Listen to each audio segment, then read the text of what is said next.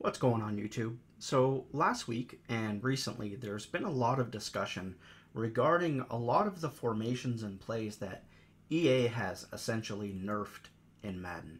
And basically because of that, everybody has been running gun bunch and everybody has been running deuce close.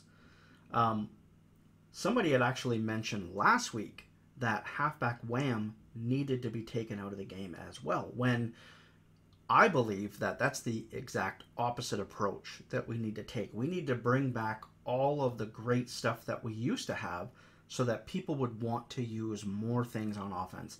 The last thing that we want to do, and even on defense, the last thing that we want to do is take away more stuff just because it's effective.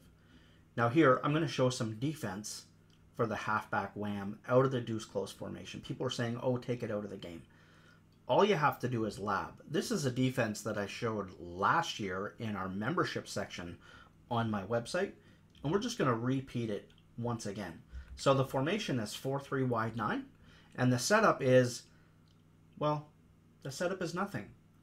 All you do is call free fire out of the 4-3 wide 9 formation, and this is the exact result that you're going to get.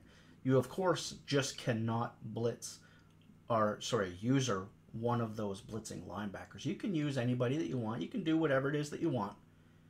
And we're going to come in right at the running back.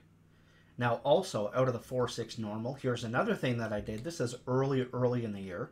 Um, I would man align, not base align. I'd man align and press, or sometimes I would just press, depending out of the cover 2 invert, and then I would just bring the mid read down, and then I would try to either use or one of the cloud flats or one of the deep blues. In this case, if we think that it's going to be halfback wham, then we can just actually use her the vert hook on the right, or as you see here as well, we can use her the vert hook.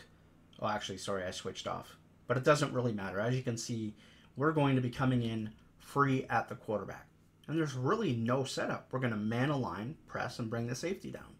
Or in the 4-3-9, you do absolutely nothing and you stop the halfback in the backfield. So hope you guys enjoyed the defense. Um, at this point in the year, obviously when it comes to MUT and stuff like that, there's not much to play for. But I'm a CFM guy at heart, and I know you guys still have Super Bowls to win, and a lot of people do run that deuce close formation. So hopefully this helps you guys out. Thanks for watching, guys. And please don't forget to check out the website, mrsmith26.com.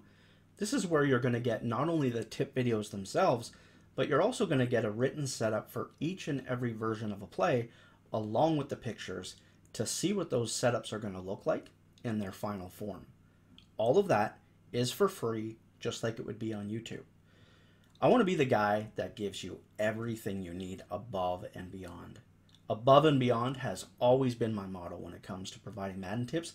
It's actually the reason why all of my tips are 100% gameplay. Everybody else wants to take that shortcut and show you plays in a broken practice mode. And that is just not me.